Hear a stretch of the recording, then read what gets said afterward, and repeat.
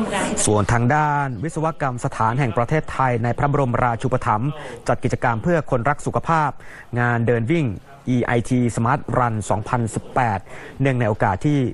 วิศวกรรมสถานแห่งประเทศไทยครบรอบ 75 ปี แบ่งเป็น 2 ประเภทก็คือประเภทบุคคล และประเภททีมวิศวกร ซึ่งการแข่งขันประเภทบุคคลมี 3 ระยะทางได้แก่ฮาฟมาราทอน21 กิโลเมตร มินิมาราทอน20กิโลเมตร และฟันรัน 5 กิโลเมตร ส่วนประเภททีมวิศวกรจำนวน 40 ทีม แบ่งเป็น 2 ระยะทาง 21 กิโลเมตร และ 10 กิโลเมตร กิจกรรมจะมีขึ้นในวันที่ 22 กรกฎาคมนี้ ที่ค่ายพระราม 6 อำเภอหัวหิน จังหวัดประจวบคีรีขันธ์ผู้สนใจก็สมัครได้ที่เว็บไซต์ของไทยรัน .com ครับ